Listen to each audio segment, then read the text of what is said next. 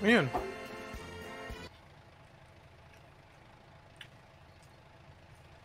Ay, hindi ko pinarinig yung truck, oh. Grabe ka naman.